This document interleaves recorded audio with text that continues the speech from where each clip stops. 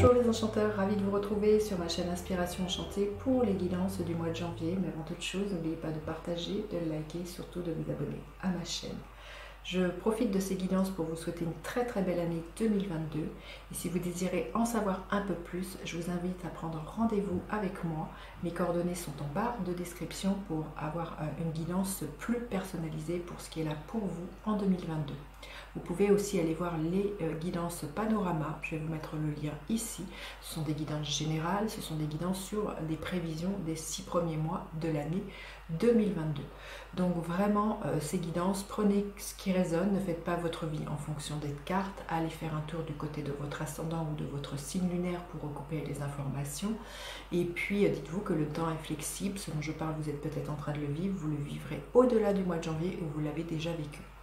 Ces guidances du mois de janvier seront suivies d'une extension si celle-ci résonne, si cela fait sens pour vous. Vous aurez les liens en barre de description. Voilà, je vous dis à tout de suite pour les guidances du mois de janvier. Alors, les cancers que vous réserve votre mois de janvier 2022. Restez bien jusqu'à la fin, les cancers. Je vais faire des camps par des camps, les cancers mois de janvier. Magnifique, le soleil, c'est la carte numéro 1, donc il y a un nouveau départ, tout s'éclaire pour vous. Vous voyez, cette femme, elle est dans une coupe, donc euh, au niveau émotionnel, je pense que vous allez être comblés, là, les cancers. Euh, vraiment, dans ce premier mois de, qui est le mois numéro 1, il y a un nouveau départ, et vraiment d'être dans la joie, le bonheur, dans la chaleur, quelque chose d'épanouissant, de, motivant, de dynamisant. Il y a vraiment peut-être pour certains un regain d'énergie avec l'énergie du, soleil. Hein. Magnifique, magnifique. Vous allez être dans votre rayonnement pour moi, vous allez briller, on va vous remarquer. Allez, votre état d'esprit, les cancers, votre force ce mois-ci, au mois de janvier votre faiblesse. À quoi vous aspirez les cancers? Concrètement, qu'est-ce que vous pourriez espérer voir se matérialiser? Et quelle est l'énergie qu'elle a pour vous à la fin du mois de janvier? Alors, votre état d'esprit, l'énergie du 4 de euh, d'épée. Vous allez avoir envie d'un temps d'introspection, de faire le point, de faire taire le brouhaha extérieur, de faire taire les conseils des personnes qui sont autour de vous, vous allez vraiment avoir envie d'un temps d'introspection, de régénération, de méditation pour moi. Hein.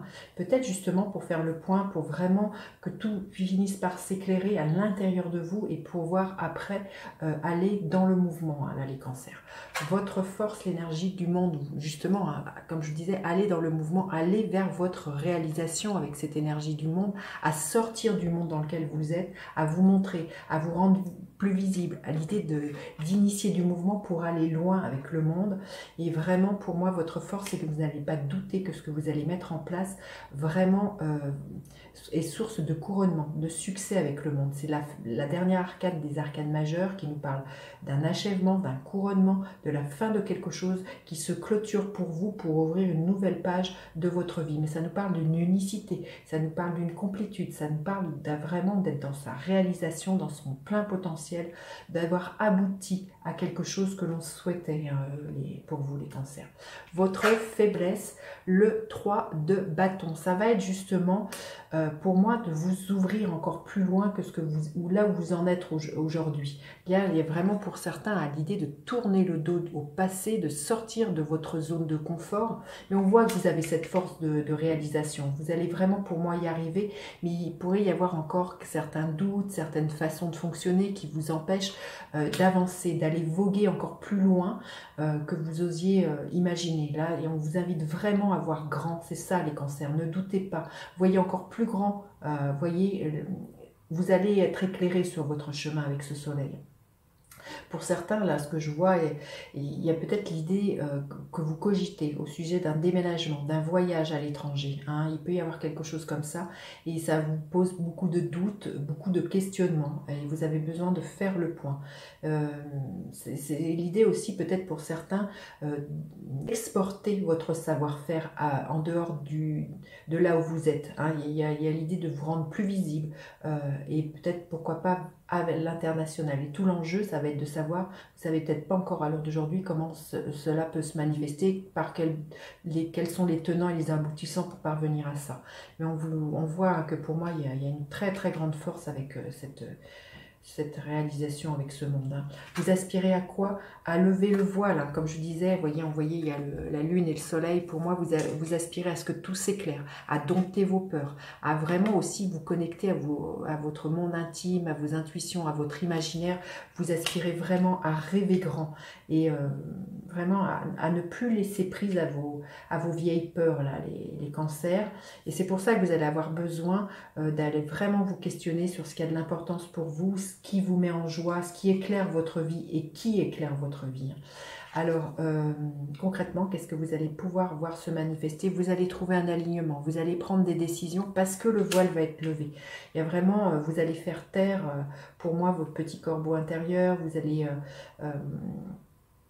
comment je dire, euh, vraiment trouver un, alignement entre ce que votre tête pense votre cœur pense. Euh, vous sortez de la dualité avec cette carte numéro 2. Vous faites taire votre mental et euh, il y a des décisions qui sont prises. Et à la fin euh, du mois de janvier, waouh, magnifique, l'as de Pentacle, il y a des opportunités très très concrètes qui viennent vers vous, euh, les cancers. Vous voyez, là c'est un as, là c'est la carte numéro 1. Quand je vous dis que tout s'éclaire, ça va peut-être prendre tout le temps du mois de janvier, vraiment que c'est quelque chose de très concret, de très palpable, de savoir vraiment qu'est-ce que vous avez envie d'implanter, dans quoi vous avez envie d'investir, si c'est au niveau immobilier, financier, et avec qui vous avez envie de construire et de bâtir euh, votre vie, là, les cancers. Superbe, superbe. Allez, on va demander un conseil supplémentaire pour vous, les cancers. Qu'est-ce qu'elle a pour vous? Éveil de conscience. On vous dit d'être connecté à vos intuitions avec euh, cette carte-là et vraiment d'être en lien justement avec le grand tout. Euh, cette carte est du couleur violette qui pour moi en lien avec le septième chakra, donc vraiment être en lien. Il y a des signes qui vont venir vers vous, comme je vous dis, vous allez être éclairé sur votre chemin. C'est la carte numéro 10, et dans le tarot, la carte numéro 10, c'est la route fortune. Donc les choses qui étaient grippées jusqu'alors vont vraiment se débloquer pour vous. Il y a l'intervention du destin, et euh, il y a vraiment... Euh, l'idée de sortir d'une routine pour vous les cancers et d'aller vraiment quelque chose, de vous extirper, voilà, de votre zone de confort et d'aller vraiment euh, chercher votre bonheur.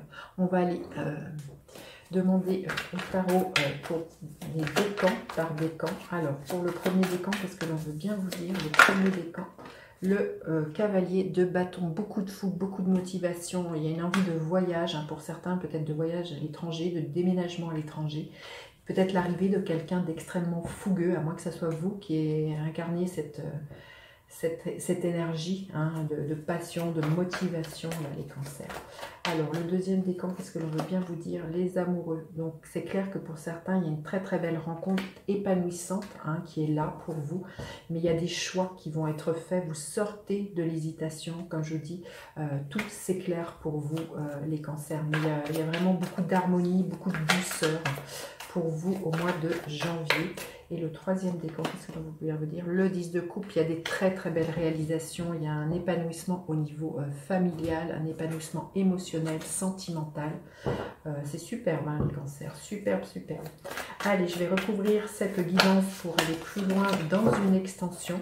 Vous aurez le lien en barre de description si cette guidance fait sens pour vous, si elle résonne, si c'est votre histoire. Alors, ce 4 de bâton. Magnifique, l'énergie du jugement. Il y a vraiment un, renouveau pour vous les cancers. L'énergie du monde, oui, vous quittez quelque chose. Le vide de coupe, euh, le 3 de bâton, l'énergie de la roue de fortune. La lune, la reine d'épée. Avec le 2 de bâton. Magnifique, le 10 de pentacle. Et avec cette as de pentacle les cancers. Qu'est-ce que nous avons Oh, écoutez, magnifique, les amoureux. Écoutez, je vous dis à tout de suite pour cette extension que je sens magnifique. Et sinon, je vous dis à bientôt pour d'autres guidances. N'hésitez surtout pas à partager, liker, vous abonner à ma chaîne. Je vous dis à bientôt pour d'autres guidances. Bye bye les enchanteurs.